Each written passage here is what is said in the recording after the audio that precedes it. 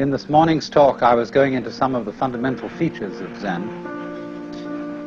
And today I want to concentrate on that aspect of Zen practice, which is called in Chinese Mo Chih Chu, or going straight ahead.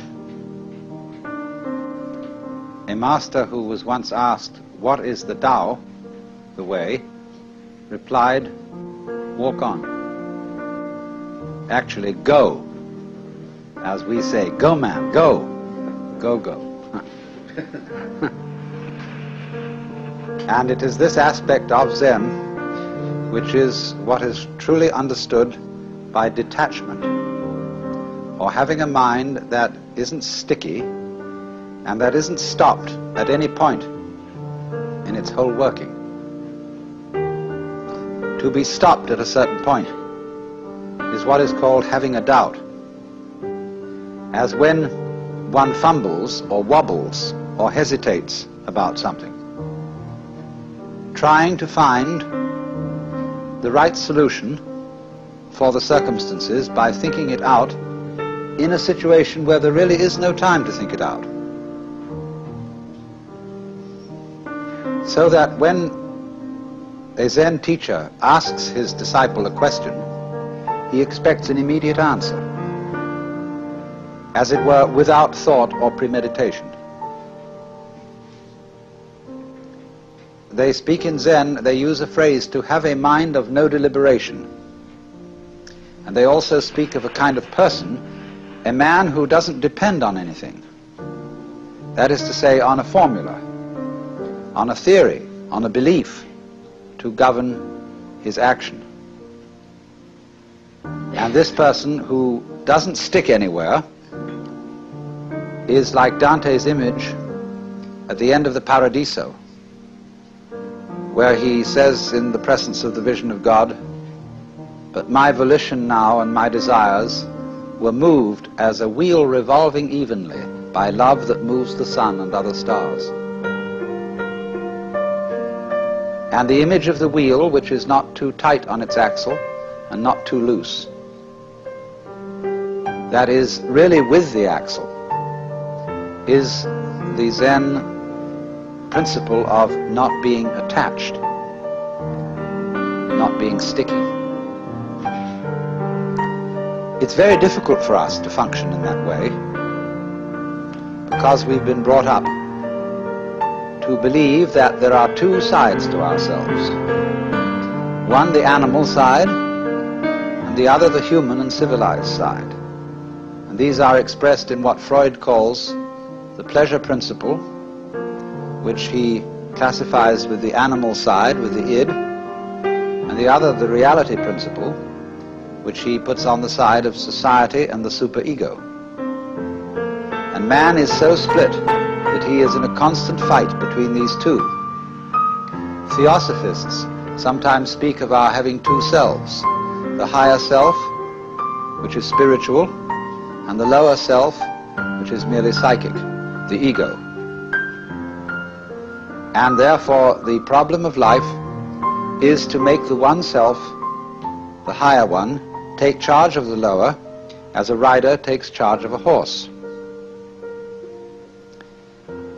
But the problem that constantly arises is, how do you know that what you think is your higher self isn't really your lower self in disguise? When a thief is robbing a house and the police enter on the ground floor, the thief goes up to the second floor, and when the police follow up the stairs, he goes higher and higher until at last he gets out to the rooftop. And in the same way, when one really feels oneself to be the lower self, that is to say, to be a separate ego, and then the moralists come along, they are of course the police, and say, you ought not to be selfish, then the ego dissembles and tries to pretend that it's a, he's a good person after all.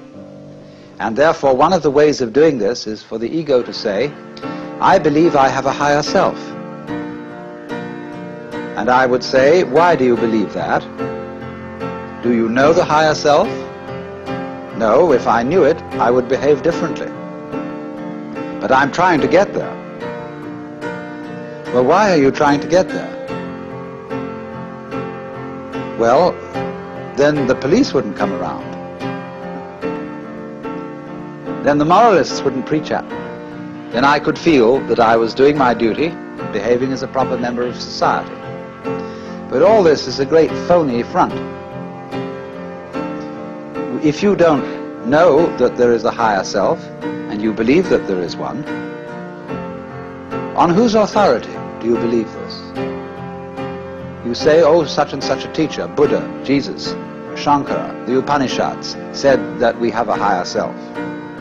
And I believe it. Catholics sometimes say they believe their religion because they're told to, and they have to be obedient. The Catechism starts out, I mean the Baltimore Catechism, starts out, we are bound to believe that there is but one God, the Father Almighty, creator heaven and earth, etc. And they make jokes about the Protestants and say, they don't have real authority in Protestant church because everybody interprets the Bible according to his own opinion. But we have an authoritative interpretation of the Bible.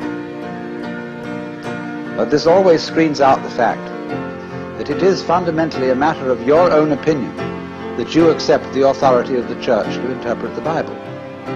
You cannot escape in all matters of belief from opinion. In other words, it must become clear to you that you yourself create all the authorities you accept.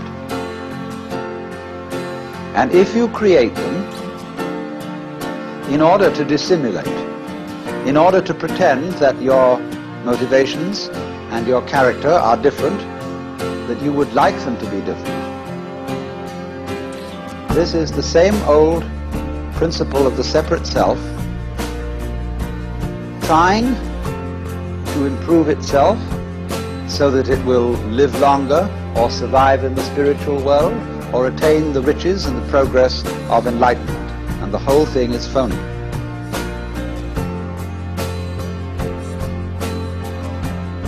So in Zen, a duality between higher self and lower self is not made. Because if you believe in the higher self, this is a simple trick of the lower self. If you believe that there is no really lower self, there, there is only the higher self, but that somehow or other the higher self has to shine through, the very fact that you think that it has to try to shine through still gives validity to the existence of a lower self. If you think you have a lower self or an ego to get rid of, and then you fight against it, nothing strengthens the delusion that it exists more than that. So this tremendous schizophrenia in human beings of thinking that they are rider and horse, soul in command of body, or will in command of passions, wrestling with them, all that kind of split thinking simply aggravates the problem. And we get more and more split. And so we have all sorts of people engaged in an interior conflict which they will never, never resolve. Because the true self Either you know it or you don't. If you do know it, then you know it's the only one, and the other, so-called lower self, just ceases to be a problem. It becomes something like a mirage, and you don't go around hitting at mirages with a stick or trying to put reins on them. You just know that they're mirages and walk straight through them. But if you are brought up to believe yourself split, I remember my mother used to say to me when I did naughty things, she said, Alan, that's not like you. so I had, you know, some conception of what was like me in my better moments, that is to say, in the moments when I remembered what my mother would like me to do. And so that split is implanted in us all.